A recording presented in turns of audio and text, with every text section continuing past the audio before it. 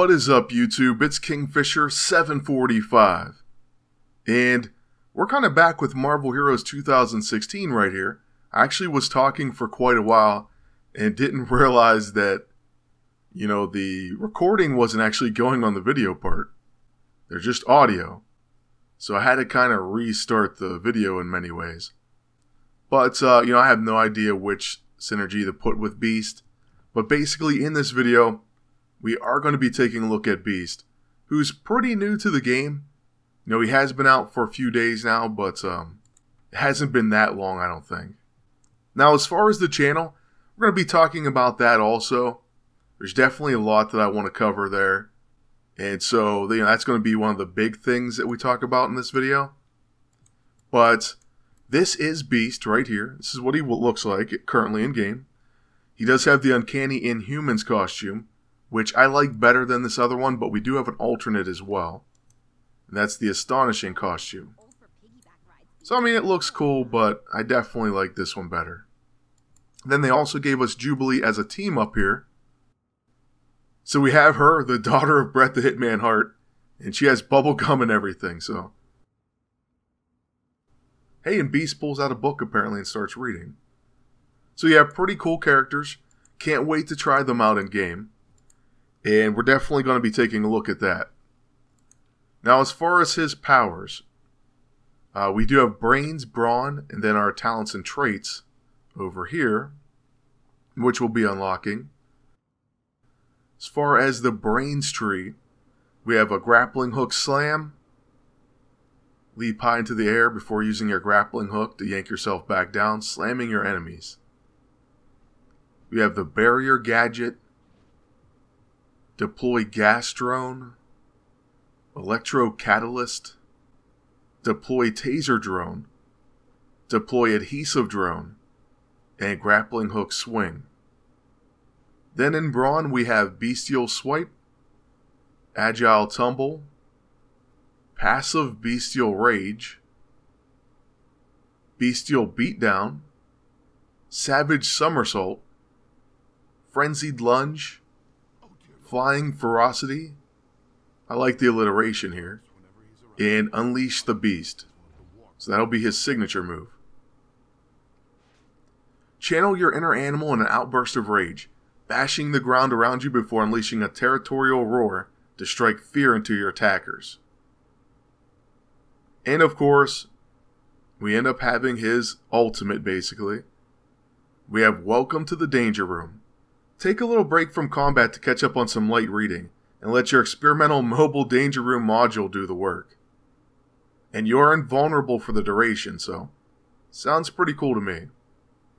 Now we're not going to be unlocking that for a while, so we don't have to be too concerned with it. But while we do this playthrough with them and just kind of level them a bit, I do want to, like I said, talk about the channel, what's been going on with me and everything like that.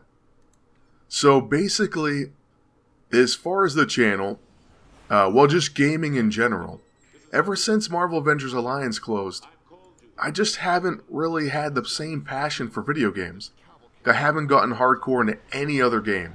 Nothing's replaced it or filled the void. And that's really sad. It's something that you know I wish wasn't a reality, but it unfortunately is. And hopefully, you know, I can kind of try to find my passion for gaming again. But that's obviously hurt the channel. You know, that and the fact that, you know, when subscribers and viewers do, like, rapidly fall, that kind of hurts the morale a bit as well and maybe affects, you know, things as far as um, motivation, I suppose. You know, and certainly I've had a lot of things going on also, but basically lately, I've been trying to, uh, you know, figure out what I'm going to do as far as a, a new line of work here and you know I've just been having different things going on. And one of the things I think would really help, or is just a good idea, is to possibly get back into making videos. And that wasn't entirely my own suggestion or anything like that. Uh, actually, you know, I thought about it, but I've kind of been hesitating. I wasn't quite sure. And then someone that I really care about and someone that I trust, well, my girlfriend, I, have mentioned that I met someone think in a past video, that at least once or twice. I know I haven't made that many videos, but I know I mentioned it. Anyway, you know, she basically was like, you should make videos in the meantime. You know, see what you can do. Try to build the channel or you know, something along those lines. And I think maybe that was kind of the extra push that I needed. And while I know it may be difficult to rebuild the channel, uh, it actually may be extremely difficult because of how YouTube's algorithm works. And in that case, there is one other possibility. So, first of all, we're going to try to make videos. Um, I want to talk a little bit about some changes that may occur that I've been thinking about. But if for some odd reason this channel just has issues because of how YouTube works, then I may in fact make a second channel or a new channel and then just try to build that up. The difference being is, of course, I tell you all about it. And for anyone who's still, you know, watching, still like an avid fan or wants to watch the videos, then you, you know you guys would kind of be the ground layer, the first subscribers. So I wouldn't necessarily be starting from zero. And that definitely would help out. I mean, it's you know, even if a couple hundred of you come over or a thousand or something like that, that's a big boost really to a brand new channel. So definitely would help out. Uh, like I'm saying, I'm, I haven't decided to do that just yet. That's a possibility depending on how this goes. But uh, I do want to try to make videos again, try to see if I can build up the channel, and also reignite my passion for gaming just in general. So that's definitely one of the main things I want to talk about. The other thing is, so I've decided, or haven't decided, but so I'm trying to decide on whether or not to kind of go the same route that we went before, to kind of keep along these lines maybe of Marvel, DC games, things like that, or if I should go with, you know, what has been my passion since I was a little kid, and that's old school games. So kind of going back to the the older games from way back when, and maybe having more of a retro game channel. It's not to say I wouldn't play any new games, or certainly play Marvel Heroes, maybe even as a weekly thing. But I do have a great passion for collecting and playing retro games. And so if it was along those lines of videos, uh, maybe it would be better to start a new channel, but I do think like we do more playthroughs, uh, let's plays, and you know I wouldn't worry as much about necessarily strategy or anything. Although of course if I had you know decent strategy for those or tips, I would give it. But be more about just having the fun, nostalgic look. Showing you my collection as well. Actually have a pretty extensive collection of uh, retro games going all the way back to, well, Atari actually, but you know, I don't have any connection to Atari whatsoever. Was before my time. And, uh, you know, the NES is really as far back as I greatly enjoy playing. Um, that's I don't even know how I would record the Atari anyway, so I even brought it up. But basically, it would be like NES, SNES, and beyond. Besides that, uh, I'd also, of course, do like collectibles and unboxings and things because that's another thing I'm very passionate about. But one of the big differences in videos would be I'm also thinking about adding a face cam. So it may not be a face cam on at all times, but certainly in many videos and some of the unboxings, things like that, I would just go ahead and have the face cam. So I mean, it's going to be a big change if I go that route. Uh, I do think it's one that could definitely attract a lot of new viewers, but I don't want to lose, you know, you guys, the the most hardcore people that have been with me.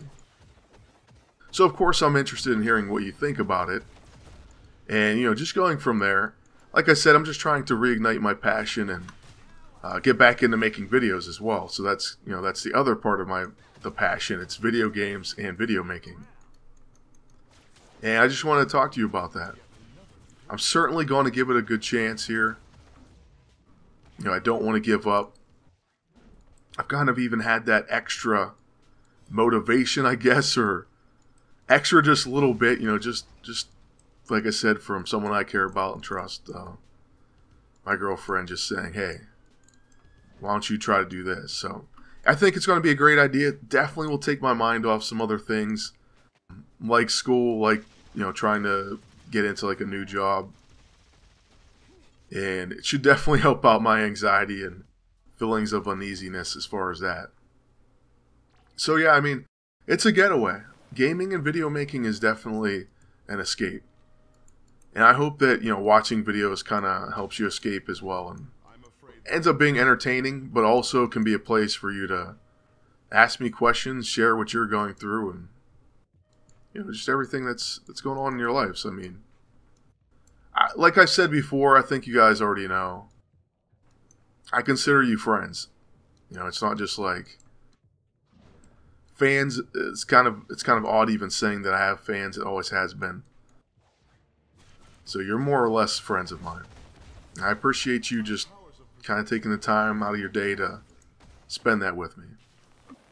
Although I know it's just a short period. I mean, usually my videos are like, I don't know, 10 or 15 minutes max, but uh, we may do longer videos as well, especially if we're going to do like full NES playthroughs. We may just do like maybe even one part sometimes. I don't know how many people can stick around for like an hour or two, however long the game may be, though. But um, we'll definitely see what happens in the future. I'm looking forward to it. I do kind of have that new motivation to get back in touch with things I love doing. And I think it'll just help, you know, my stress levels and anxiety overall with the other things that are going on. So, anyways, I kind of wanted to get that out of the way. Uh, we do have to do a Patreon thank you video as well. Uh, my patrons are absolutely incredible. I, I can't even thank them enough. So, uh, that will be coming soon. We're going to continue playing Marvel Heroes. Even if we do the retro thing, it's not going to happen like right away. It's going to be a little while. So, it's not going to be something you'll see tomorrow or within the next week. So, we're probably going to be playing a lot of Marvel Heroes. I don't know if we're going to get back into World of Warcraft just yet. Um, I kind of even suspended my subscription for a little while. But as far as Marvel Heroes, uh, probably Star Wars uh, Galaxy of Heroes. And then there's some other games that I have that are Marvel and comics related that maybe we'll just start Let's Plays of those. Uh, that's kind of what you can look forward to in the recent or the upcoming times here in the game. But yeah, I mean, we're just trying to do this all in one take. We're not really going to do any heavy editing, as you can tell, I'm sure, on it. And uh, I want to let you know about that. Also, do some playthrough with uh, Beast. See what we unlock and what we can uncover with him. So, currently, you know, they do start putting skills on our bar for us, which helps out. Definitely, probably help out to, to look at them and, and realize what they actually do. I do love the grappling hook slam so far. And most of these other things are, you know, pretty straightforward. Melee attacks, of course, I knew he was going to be heavy on. Alright, so our talents and traits here, I just want to go through those really quick. We have brains and muscle. Your intelligence and strength combined make you an adversary to be feared. Plus 3% crit, plus 36% damage, 4% per fighting or intelligence. Momentum. Generate momentum by moving and using certain powers. Spend momentum to augment powers, gaining additional damage and other effects. And lastly, moving target. Your agility and ability to use the environment around you to move fast makes you hard to hit. says that, but we know they mean hit. So yeah, we do have that. Uh, we'll be unlocking some of these talents uh, later on down the line. And then we also do have our movement ability unlocked. And that's pretty cool right there. Sorry about the phone, but uh, you know, we kind of just scamper around here on all fours. As far as this video, though, I don't want it to go super long. Uh, probably about 15 minutes or so. So we'll maybe just try to see what else we can accomplish uh, within the next few minutes and then call it for now.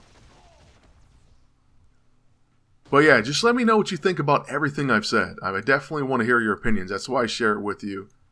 I mean, to inform you of what's going on, but also just to uh, kind of get your thoughts on everything.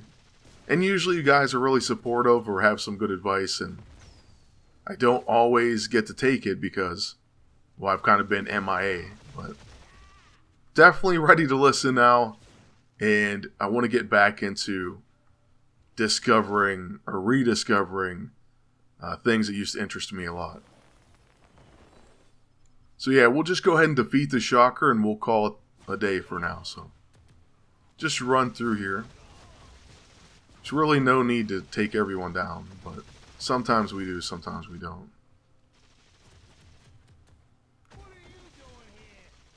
Yeah, it looks like he's just up here, so... Should be fighting the boss soon. Alright. So far, I'd say Beast is pretty decent. You know, I don't really, even really have any gear for him, and he doesn't have any problems taking him down. It is very early in the game, though. We definitely do want to try to get gear for him, obviously.